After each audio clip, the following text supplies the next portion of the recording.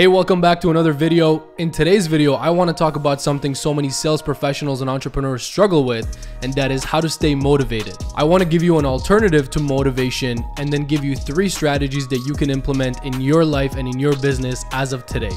But before we get into that, first things first, make sure you like the video, comment below. I would love to hear your thoughts and your feedback. Engaging with you guys in this community is something I look forward to and that I'm excited to do. And also make sure to subscribe to the channel if you haven't already, because there's a lot more content coming your way. And that helps me in bringing you this content. And I'm sure that it's going to help you in your sales career, in your life, and in your business. All right, so let's dive right into it. First things first, the reason a lot of sales professionals and entrepreneurs struggle with motivation is because motivation is temporary. It's discipline that's permanent. So of course you're not motivated every day. Of course you're not motivated to go into work every day. Of course you're not motivated to work out every day. Of course you're not constantly 24/7 365 motivated, amped up, ready to go. Life plays a factor in this your habits outside of your sales career and your business play a factor in this, and just so many other things. We're human beings at the end of the day, and it just makes sense that you're not motivated 24 7, 365. But what can you do to actually make sure you get everything done, make sure you hit your priorities, and make sure that you're successful every single day in the direction of your goals and your dreams? You can actually implement discipline in order to substitute for temporary motivation because discipline is something that can stay with you. Discipline is a muscle that you can build for the long term, and discipline will be there when motivation fades away, when motivation evaporates, when motivation is no longer there in that temporary moment in time discipline will be your friend. As the old saying goes, discipline equals freedom. So for you to actually have freedom in your life, for you to actually feel confident, for you to actually achieve everything that you set out to achieve, it's discipline that you need. Discipline is the bridge between where you are and where your goals are, where you want to be. The bridge to get there is discipline. So I can't stress this enough. Discipline is what you're looking for. Discipline is what you're looking to build. And discipline is the answer. And one thing I want you to understand here if motivation is so overrated and discipline is so underrated, which it is, that's just the reality of how it is in today's world, then you having discipline, you understanding this, internalizing it, and then actually implementing it into your life and into your business, imagine the unfair advantage that's going to give you. Imagine what that's going to do for you in your life and in your business. Just you knowing this, you internalizing this, and you having this unfair advantage of building discipline because it's so underrated and so many other people don't have it. If you just have this one thing, you're already so far ahead. So by now you're probably asking, okay, I got it, but how do I actually build discipline? How do I go about developing this skill? How do I go about becoming a disciplined person? So I want to give you three strategies that have helped me throughout the years and have helped me build discipline and actually stick it out when I've been committing myself to a goal or to a bigger vision. And I'm sure these strategies are going to help you as well. And I want you to not only listen to these strategies and take notes and learn them, but I want you to actually implement them as of today. Nothing is going to change if you don't change. If you don't execute on these ideas, on these strategies that I'm going to give you, nothing will change for you. By you simply understanding this, that's not enough what you actually need to do is put these things into action and execute on them. So, the one commitment I want you to make to me right now is that you're going to actually implement these things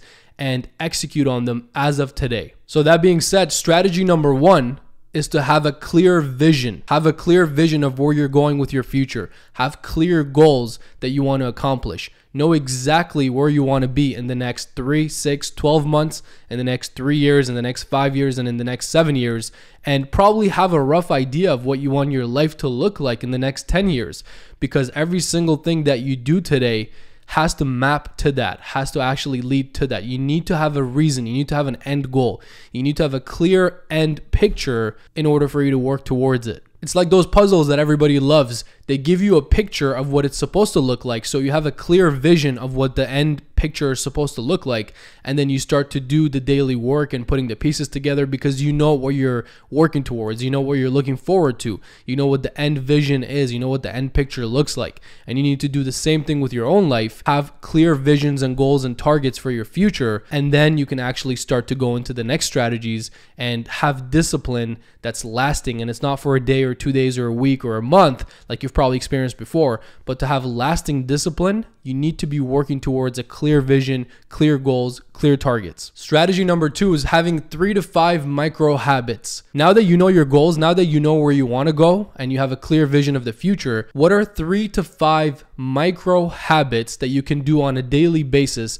that are going to lead to that goal? What are those three to five actions that if you just do consistently on a daily basis every single day, are going to guarantee that you achieve that goal, that vision that you have for your future.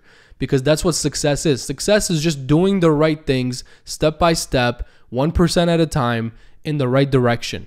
And failure is the exact opposite of that. Failure is doing the wrong things in the wrong direction, one day at a time, 1% at a time, and it all compounds. So, which way do you want it to go? Do you want it to compound in the positive direction towards your goals, or do you want your bad habits to compound in the negative direction towards a future that you don't want? So, figure out what that is for you. Three to five micro daily habits that you're going to implement as of today, and you're going to track every single day to make sure you hit those habits and you do those three to five micro actions that are going to, in the long run, in the one, two, three, five, seven years, lead to the goals that you have. And strategy number three is accountability. It's having somebody to hold you accountable. This is why I'm such a believer in mentors and in having coaches or a mentor figure actually help you with your goals, hold you accountable, know about your goals and know what the deadlines and the time frames are so that they can actually hold you to your word because initially you're not going to have discipline. Initially it's going to be hard. Initially you're going to want to give up. Those things will happen. I can tell you that right now. Let me just save you the time and the pain of going through it and tell you just right here right now you're going to have those moments where nothing will make sense. You'll want to give up. You won't be on the right path. You're going to face challenges, barriers, obstacles. That's all fine. That's all going to happen. The problem is, if you don't have a mentor, a coach, somebody to hold you accountable, you're not going to continue doing what you want to do. You're not going to continue long enough for those micro habits and those actions to become discipline, to become second nature to you. Whereas now you don't need somebody to hold you accountable to those actions you can do this on your own and you continue to do the right things in the right direction because you've built up that discipline now. You've built up that muscle now. Now, that being said, you still want to have mentors for bigger picture goals, for your next steps. You should always have somebody mentoring you and coaching you who's ahead of you in the game so they can teach you their mistakes, so they can show you the ways from all their years of experience, and you can save yourself time and you know all this trouble of going through the same mistakes that they've made. So you want to learn from mentors. You always want to have mentors for bigger picture things initially before you build that discipline you're going to need the mentorship or the coaching or somebody to hold you accountable and if you don't have a mentor or coach at this moment in time and i want you to start this immediately go to your partner go to somebody in your family go to a sibling go to a really close friend who you trust who actually cares about you and tell them as of this moment on these are the 3 to 5 things i want to do I want you to hold me accountable to these things. I want you to actually check in on me and I want you to call me out. And there has to be consequences if you don't actually hit those targets and actions. And there can be rewards as well to reward yourself for doing the right things. And that's what you need. I can't stress this enough. Accountability. You need accountability. You need to have mentors. You need to have coaches. You need to have somebody holding you accountable until you build the right disciplines, until it becomes second nature to you. This is going to be a game changer for you. And if you don't do this, I'm telling you, you're selling yourself short and you're missing out on what your future potential could be. So there you have it. That's my message for today. Staying motivated is not about having temporary motivation, but it's about building discipline for the long term. And discipline always trumps motivation. Discipline beats motivation every single time. So you don't want to be motivated, you want to be disciplined.